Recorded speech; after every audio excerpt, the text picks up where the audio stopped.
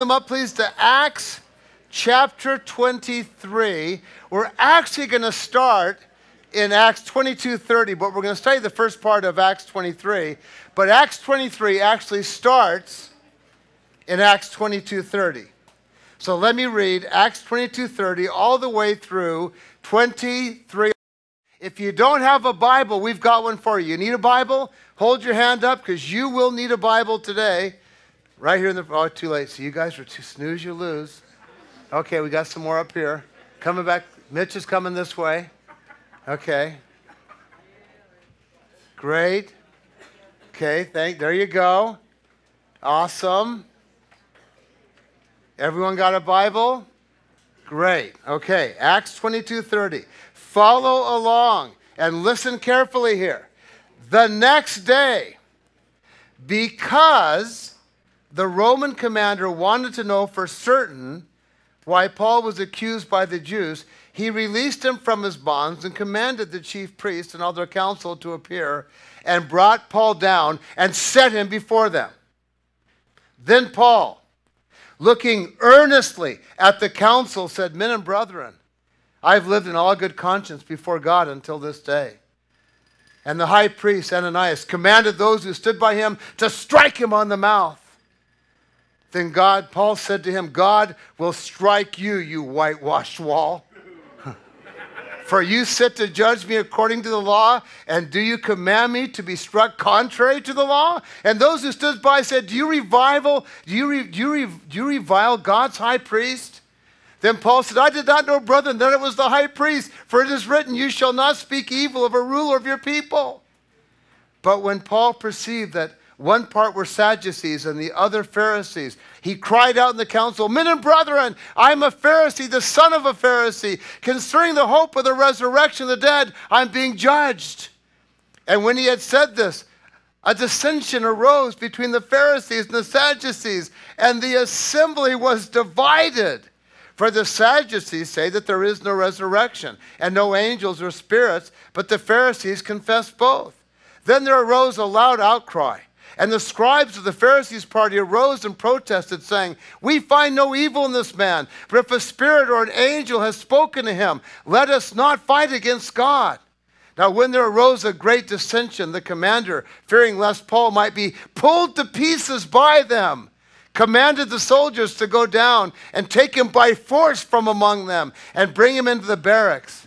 But the following night, the Lord stood by him and said, Be of good cheer, Paul. For as you have testified for me in Jerusalem, so must you also bear witness in Rome. Oh, Father, thank you for bringing us to this place on this Mother's Day Sunday. And Lord, I believe that there's a message for each one here. So, Father, now would you quiet our hearts before you? Would you open our ears to hear what the Spirit would say through your word to each one here? And we will thank you for it in Jesus' name. Amen. Now, as we pick up our account here today, Paul is under Roman arrest. He's being held as a prisoner in the Antonius fortress, which is just outside the court of the Gentiles on the Temple Mount in Jerusalem. And you'll remember that Paul and company had been spotted by a group of Jews from Asia, and they had stirred up the crowd by accusing Paul of bringing a Gentile, a non Jew, into the Holy of Holies, into the temple. And this charge was so serious that the crowd had grabbed Paul and they drug him outside. And they would have beat him to death if the Roman guards hadn't intervened. Now, this intervention by the Roman centurion that gave Paul a chance to speak to his kinsmen according to the flesh, which of course were the Jews. And what a perfect opportunity this was. This was during the Feast of Pentecost. There would have been thousands of Jews on the temple grounds at this time. Now, the fact that they all wanted to kill Paul did make it a little harder. But still, this was a wonderful opportunity. In fact, Paul knew this was a once in a lifetime opportunity. And Paul went for it. he got a chance to speak to them, and so he started out with his personal testimony of how Jesus had impacted his life. He told his Jewish brethren how Jesus was the just one, the Messiah that they'd all been waiting for. He told them that Jesus had the power to forgive them of their sin, even as Jesus had forgiven him of his sin. And then he told them of the calling that Jesus had upon his life to take the message of the gospel to the Gentiles. And again, this is where the crowd goes crazy. The Jews couldn't believe that the Messiah of Israel would have any interest in non Jews at all. Salvation was for the Jews. And to even think about salvation going anywhere outside of that was out of the question. And so again, this crowd goes nuts and they want to get their hands on Paul so they can kill him. But the soldiers are not going to let that happen. Remember, he is a prisoner of Rome, not a prisoner of, of, of the Jews at this time. Paul was now their prisoner. So they're going to make sure that he is safe until they know what to do with him. And you see, the, the Romans don't have a clue what's going on here. They don't really understand the Jewish religion at all. They don't speak Hebrew or Aramaic. All this dialogue between Paul and the leaders, they're not getting what's going on here. They don't understand Jesus or any of these things. And when Claudius Lysias asks what's going on, he, gets all these varying reports about what Paul did. So he's going to do what he does best, and that is to beat a confession out of Paul. And this is where Paul plays his ultimate trump card, and that is the trump card of his Roman citizenship. Roman law assured every Roman citizen of the right of a fair trial. And until that took place, a Roman couldn't be tortured, whipped, harassed in any way. They couldn't even be interrogated without the crime being announced and the trial date set. They were truly innocent until proven guilty. And that's why these soldiers were so afraid when they found out that Paul was a Roman citizen. They'd bound him, they'd questioned him, all without trial, all without announcement of specific crimes. So th- that sets the stage for what happens next. If Claudius Lysias was going to prosecute Paul, he had to be able to clearly state the crime that he was guilty of. And up to this point, he doesn't have a clue what this guy had done. He knows the Jews want to kill Paul, he just doesn't know why. And so, if he's going to have a charge against him, he needs to find out what is going on. So, Paul is brought down before the Sanhedrin with the goal being to fully establish what this man had done wrong. Now, the Sanhedrin, this is the ruling elders of Israel. This was like their Supreme Court. It was made up of 70 men that were chosen amongst the Pharisees, the Sadducees, and the scribes. And you're thinking, who, who are those guys? Let me tell you who they were. First of all, the Pharisees were the fundamentalists of the day. They believed in the Old Testament, they believed it was the Word of God, they believed in angels, demons, heavens, hell, and most importantly, they believed in the resurrection from the dead. The, the, the Sadducees were the liberals of the day. They believed in the first five books of the Old Testament, the writing of Moses, but they didn't believe in heaven or hell. They didn't believe in angels or demons. Most importantly, they didn't believe in the resurrection from the dead. They believe that you only went around once in life and you better make it as good as you possibly could.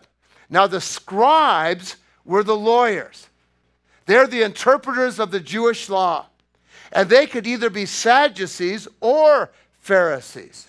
Now, the Sanhedrin was controlled by the high priest, whose name was Ananias. Have you guys been watching Ananias on AD? The Bible continues on Sunday night.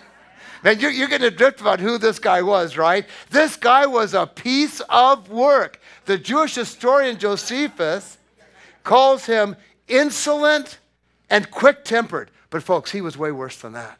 He was a power hungry crook that milked his office for every cent he could get out of it. He'll ultimately die at the hands of his own people because they could no longer take his greed and his cruelty cruelty. But the most significant thing here is that Ananias is a Sadducee. So the Sadducees were in control of the council.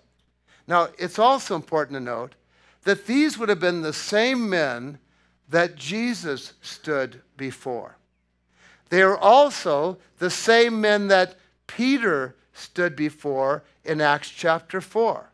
They're also the same men that put Stephen to death after he addressed them in Acts chapter 7. But most importantly, these guys were Paul's peers. They were the ones that he'd gone to school with, he ruled with them. Paul was once a part of this group. Paul was part of the Sanhedrin. And not just a part of it, he was a leader of it. So, are you getting the dynamic here?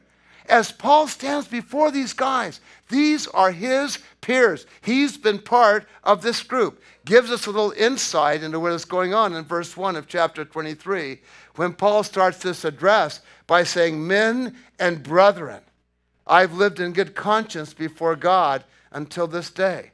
And basically, what Paul is saying here is before these men that they knew him inside and out, is that according to the law and the traditions of the Father, he had lived a perfect life by the standards that they themselves had set. Paul declares himself to be blameless. Now, I don't know about you, but this is something I would have never been able to say, regardless of the standard. I mean, I, I, even fell short of the standard that we'd established around Ocean Beach, which is about as low of a standard as you could possibly get. I mean, even there, if I just stood before my friends and said, hey guys, you know, according to the standards that we have here around the beach, I've lived perfectly. They would have said, get out of here. We know you. You're a reprobate. And they would have been right. Now, you know, Paul was a special man if he could stand before this group that has set the highest standard ever for works, for zeal, and for spirituality, and yet say, Guys, I've done it. You know my life. I have lived up to the standard. And you'll notice, no one refutes this except the high priest, who cared, could have cared less about Paul's standard in the life that he lived. And that's saying a lot.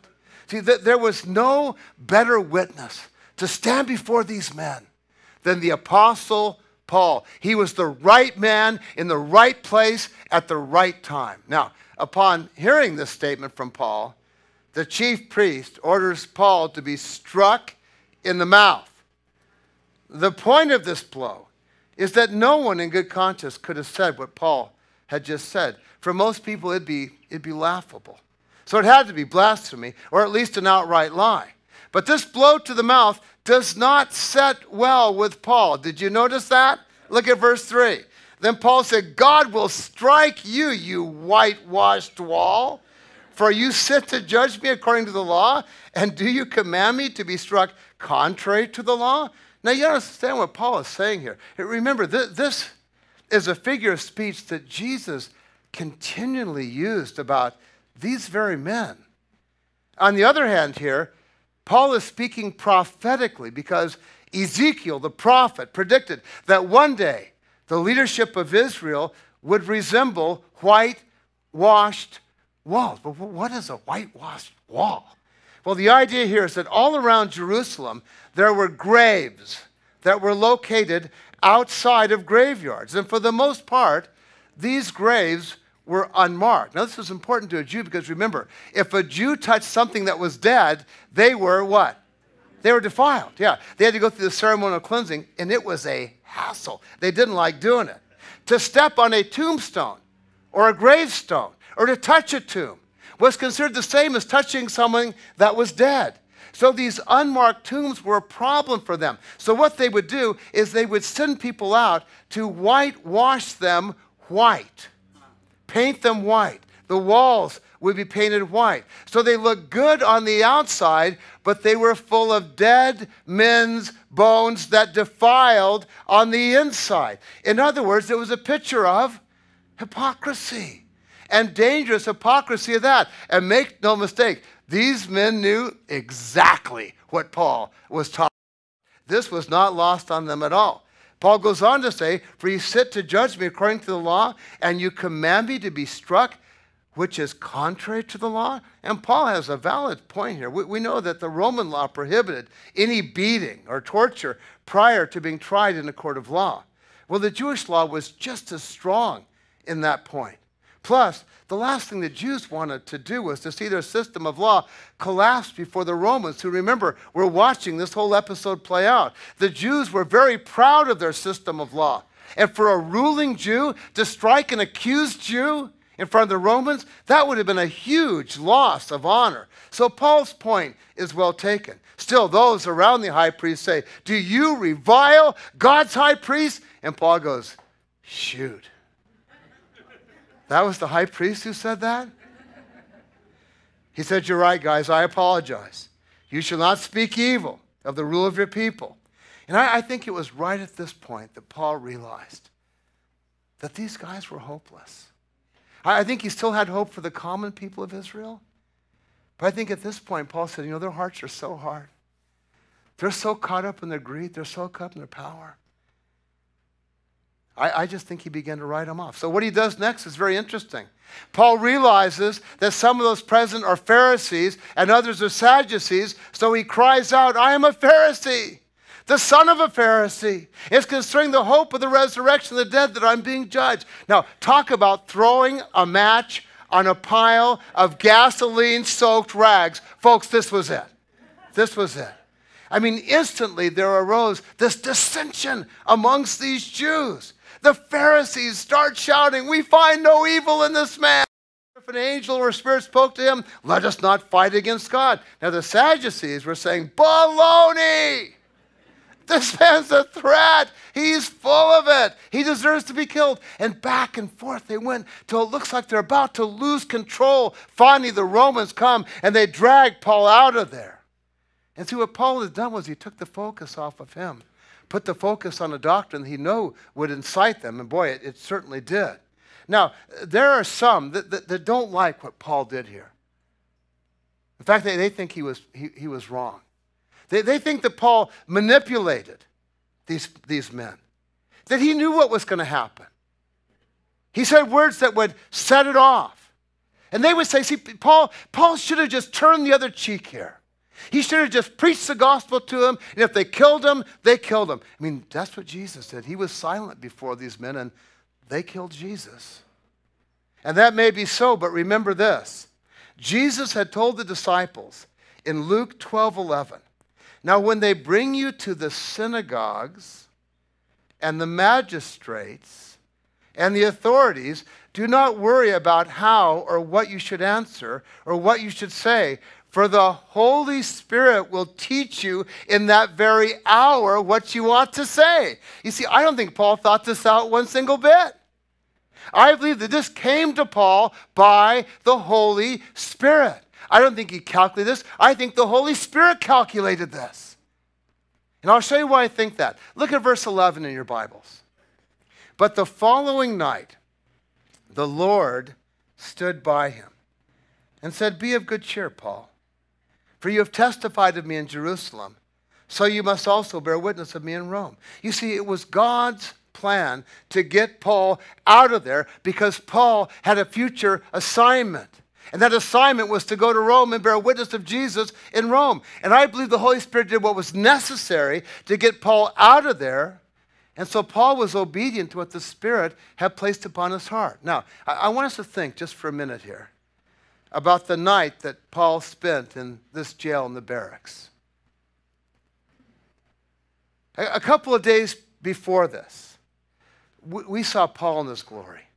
A couple of days before this, Paul was able to fulfill a lifetime dream. He was able to preach to the Jews in the nation of Israel. What an opportunity. The day after that, he was given the opportunity to stand before his peers, the Pharisees, the Sadducees, the scribes, the leaders of the nation, and speak to them about Jesus as well. There's no doubt. This was the highlight of his ministry. This was what Paul lived for. This is what he wanted to do from the very moment he got saved. And he got to do it. But notice, Paul had failed. His ministry had not been received. His message had been thrown back in his face, just, just like Jesus told him that it would. You know, Jesus appeared to Paul one time before the temple. And there Jesus told Paul, Paul, get out of town, don't minister to the Jews. But Paul began to argue with Jesus, saying, Jesus, I'm the man for the job. These people know me, they respect me. I know the way they think, the way they feel. I can hone the message just for them. Jesus, let me at them. But the Lord said, Paul, they will not receive your ministry.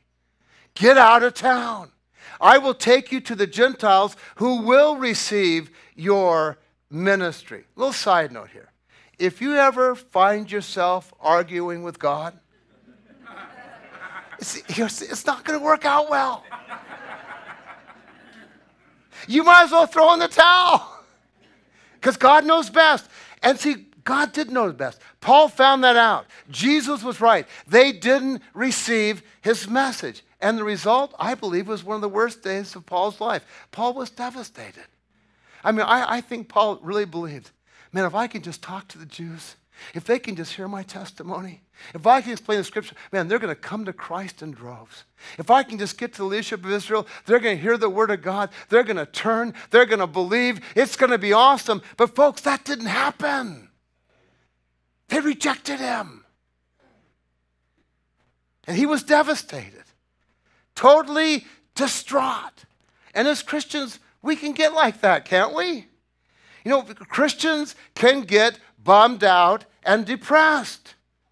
We can get down on ourselves because, you know, we didn't think that we came through like we should have come through. Or we get down on God because we don't think God came through the way that God should have come through. And we, we can get like that, can't we? I mean, I know I can. I, am a pretty happy guy. You, you probably noticed that about me. But, folks, I'm telling you, some things can happen, and usually with me, it's the things that, that don't happen that I think that, that should happen. And I, I can get bummed out. I can get depressed. And that's what Paul was going through here. He'd hit the bottom.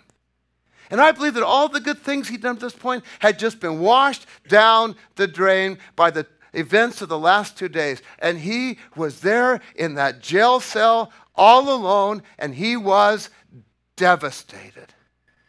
And here's what's wonderful Jesus knew it. He knew what Paul was going through. In fact, maybe even better than Paul knew himself. And so Jesus comes to Paul. And I love the way Luke puts this. Do you see this in your Bible? Luke tells us that Jesus stood how? By him. He didn't stand over him. He, he didn't stand in front of him and lecture him. No, he, he just stood with him. He came right into the midst of what Paul was going through. And Jesus just stood with him. And notice what Jesus says to Paul verse 11 Be of good cheer, Paul. For you have testified of me in Jerusalem. And you must also bear witness of me in Rome. Now, if you doubt that Paul was bummed out, Notice the first thing Jesus tells them. He says, Be of good cheer. Paul, cheer up. The Greek word that's used here means to inspire someone towards courage. Jesus is encouraging Paul to be strong and courageous so he can accomplish what's before him. And then, secondly, Jesus says, Paul, you, you did a good job in Jerusalem. You, you, bore witness of me. Folks, there's a, there's a really important principle here. We're not responsible for the outcome. Only for the appropriate witness in a given situation. So, folks, I, I hope you get this. I hope you get this. We simply do what God asks us to do. And then we trust God for the outcome. We do our part, we bear witness, and then we allow God to do his part, which is to bring people into the kingdom. And Paul had done his part. He'd done it. And Jesus said, Good job, Paul. Way to go. Then, thirdly, Jesus gives Paul a vision for the future. He tells Paul he must also bear witness of him in Rome. You know the best way to get out of the doldrums of the past is to get a fresh vision for the future. Paul told the saints in Philippi, forget those things that lie behind and start pressing on towards the high calling that God has for you and your future. Oh, what good encouragement. Forgetting those things that lie behind. Getting out of the doldrums of the past. How? By getting a fresh vision. And God has a vision for you. He has a purpose and calling for you for the future. That's a good message, isn't it? It's a good message, isn't it? So he came, Paul, cheer up. You did good. Got a future for you. It's also a very applicable message for us because there's a good chance that some of you here this morning, you're, you're stuck in the doldrums right now. You're bummed out. You're, you're, you're, you're depressed. Now, you're not going to let us know that. No, when you come to church, you're going to look marvelous. You're going to look good. How's that? Oh, so good. Whoo! It's good. And inside, you're going, I'm dying. I'm depressed. Someone help me. Why? Because things haven't been going the way you think they should go. Folks, does that ever happen to Christians? You bet it does. Or maybe God hasn't come through in the way that you think God should come through. And as a result, you're stuck. And that cloud has come and that cloud has settled over you. And you're bogged down. And maybe along with that, you, you don't see the way out. God hasn't come to you and said, This is the way, walk in it. So you feel like, man, I'm stuck there. Stuck. What do I do? What do I do? Well, I want you to think about this because God wants us to move forward. He wants us moving forward. And there's some things that we know we can always do to move forward. Let me give you a couple. First of all, we know God wants us in His Word, the Bible. He wants us to be people of prayer, and He wants us laboring for those things which are eternal. So let's start there. Let's start there. You know, if you really want to move forward, get a fresh vision for the Word of God. And folks, that's got to go beyond what you get here on Sunday. You have to have a personal vision for the Word of God. You got to be taking it in, and it's got to be alive. It's got to be living for you. So start a new study. Join a small group.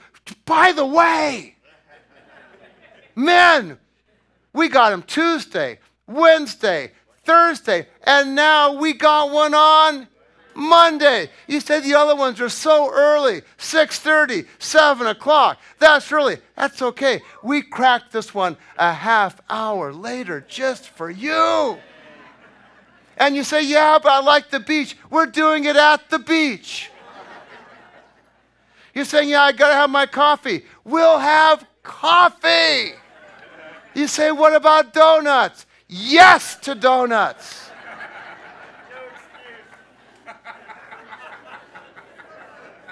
Get a fresh vision, men, for the Word of God. And then get a fresh vision for prayer. Amen.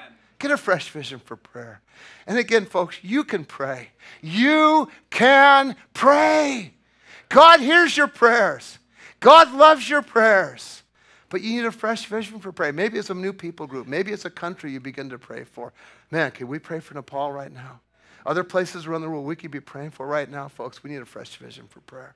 Can we be praying for our own country right now, folks? Come on. Come on. Come on. There's so much we could be praying for, and yet so often our mouths are shut. Hey, you want to get a fresh vision? Come here at 8:30 and pray with our before church prayer group that meets right here in the conference room. Folks, those guys will get you fired up for prayer. Guarantee. Wherever it is, start communing with God in a fresh, new way. And then get yourself involved in the ministry. Get your okole out of the seat. Get it out and start laboring for the kingdom. Folks, everything else is going to pass away. It's going to pass away. It's going to mean nothing. You can labor for the kingdom. And you got to know right now in Life Our Church, there's a lot of opportunities right here, right now, for you to labor. So get to it. You, you know, this morning, I think we had about, what, we had about 15 guys here this morning, sit in chairs, and some gals. And was it a blast? So much fun. Were there donuts? No. Was there coffee? No, but still. Come on. It was fun. It was awesome. Camp Kumulani. You know, our Sunday school. There's so many great things going on. Get involved. Start laboring for the kingdom. And folks, you're going to find yourself moving forward. The way to get out of the doldrums of the past is a fresh vision for the future. Folks, you can get it. And beyond that, folks, Jesus, Jesus is here this morning. And he wants to come and he wants to stand with you in the midst of what you're going through. And you know, I, you know, I know we, we celebrate moms this morning, and it, it seems it's so great and wonderful. And, and yet, I, I know what many of you moms are facing right now. I know what you're going to walk into when you leave from this place. It's hard, it's difficult, it's gnarly, it's complicated. And some of you moms, you're, you're standing there alone. I know that. I understand that. But you don't have to be alone. Because Jesus will stand with you. Right. He'll stand with you. He will stand with you. I don't care what you're going through today. Jesus is willing to stand with you. And if he stands with you, he will dispel, he will drive the darkness out of your life. He will drive. Folks, yeah, Christians, we can get bummed out, but we shouldn't stay there. We should not stay there. No, because our God is the God of light. He's the God of light. And the God of light is here, and He wants to stand with you today. So, Father, as we close off our service today, Lord Jesus, would you just come? And Lord, you know each one. And Lord, I, I know the whole, the whole point of today, Lord, I just, it was so clear to me this morning is, is you just want to enter into our world. You just want to stand with us. You want us to know, man, I am there. I am with you. I'm, I'm not over you. I'm not in front of you. I'm with you. I'm with you. I'm with you. I know your circumstances. I know the cloud that's over you. I know the troubles you face. I know it seems impossible. I'm with you. I am with you. And Lord, in that place, you begin to speak to us and you begin to move us forward. And Lord, that's what we need. And this morning, while everyone's head is bowed, our hearts before God, I believe that the way that God wants us to acknowledge this today is just, is just to, for some of us that need to, just to, to stand up right where we are and invite Jesus to come and to stand with me. Jesus, stand with me. You know what I'm going through. You know what I'm facing. And Jesus, I'm just telling you this morning, I, I want you to stand with me, Jesus. I want you to stand with me. If that's your need today, I'm just telling you, he's, Jesus is here. He's here. You know he's here. If that's your need today, just, just in your seat, no one's looking around, just stand up where you are in your seat and say, Jesus, come stand with me. Jesus, come stand with me. And as you do, we're going to be praying for you. Just stand with her, Lord. Stand with these guys, Jesus. Stand with that man right there, Lord. Stand with this woman right here, Jesus. Stand with that man right there, Lord. Stand with this man right here, Lord. Stand with him. Can you feel him? Can you feel him? Can you feel him? Can you feel him? He's here. Woo. Thank you, Jesus. If you need Jesus to stand with you, if you need him to stand with you, he's going to stand with you guys right there. He's going to stand with you guys. You know he is. You know he is. He's going to stand with you. He, yeah, you need him. Anyone else? Yeah, amen. You need him to stand with you guys. You guys need him. Anyone else? You need him today. You need him. Jesus, stand with me. Stand with me. Anyone else? Amen. You need him. Isn't that cool? Come, Lord. Come right there, Jesus. Come right there, like you never have before, God. Like you never have before, Lord. Stand with him, Jesus. Stand with him, Lord. Amen. Amen. Thank you, Jesus. Way in the back. Stand with him, Lord. Stand with them, Lord. Need right here, God. You know, you know the need here, Jesus. Stand with them, Lord. Just stand with them, God. It's husband and wife, what they're faced with their family, Lord. Their businesses, God. Stand with them, Lord. Stand with them, Jesus. Anyone else here this morning? Anyone else? Ooh. Yes, Jesus. Thank you, Lord. Wrap your arms around each of these, Lord. Let them hear your voice. Speak to them so clearly. Speak to them so clearly. Need. Need. Thank you, Jesus. Stand with them, Lord. Stand with them, Lord. Stand with them, Lord.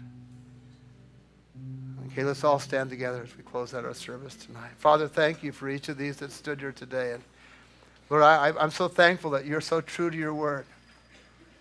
And that, Lord, they leave here today with assurance Jesus is standing with me in the midst of what I'm going through. Hallelujah. Hallelujah. That's the kind of God you are. So thankful for that, Lord. And Father, now as we open up our altar to pray up here today, Lord, I, I pray that you just give our church a fresh vision for prayer. Lord, we'd have a heart to pray for our country and to pray for what's going on in our world in Nepal and in uh, Papua New Guinea today, Lord, and just all around our world, Lord. Our world needs help, and Lord, we can pray. And God, give us a vision for prayer. And Lord, let your word go deep into each heart here today, God. And Father, just challenge us, Lord, to be about your business. So as we sing this one last worship song, prayer team's going to come. If you need prayer, you come. Don't wait. If you need prayer this morning, prayer team, would you guys come up? Let's worship, Susie.